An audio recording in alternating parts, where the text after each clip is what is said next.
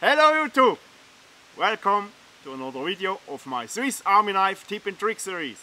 Today I'll show you how you can use the sharp spine of your saw blade for preparing food. And I give you a fantastic safety tip that you can fix the saw blade. Stay tuned.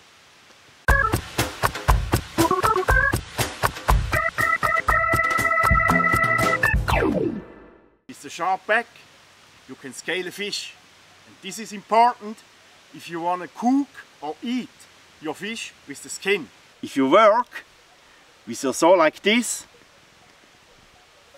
the saw blade can fold in and you can hurt yourself. If you want to fix your saw blade, just wrap a little bit cord around the eyelet and your saw, like this. Now your saw is fixed.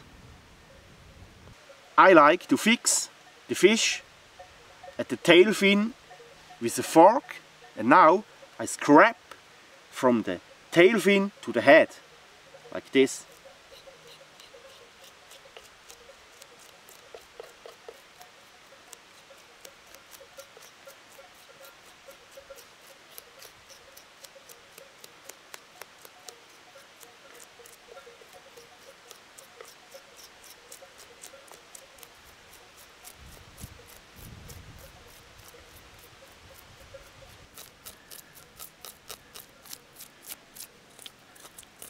Now my monster fish is ready for cooking on the campfire.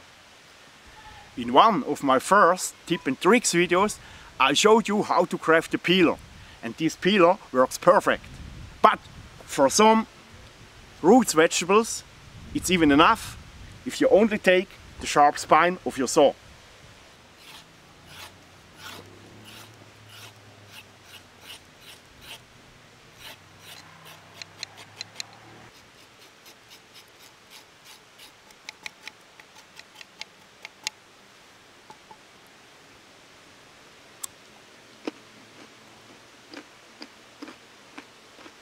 This works for carrots, parsnip and radish.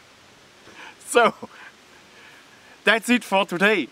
Please leave a comment, check my playlist and don't forget to subscribe to my channel. Thanks a lot for watching and see you next time. Ciao.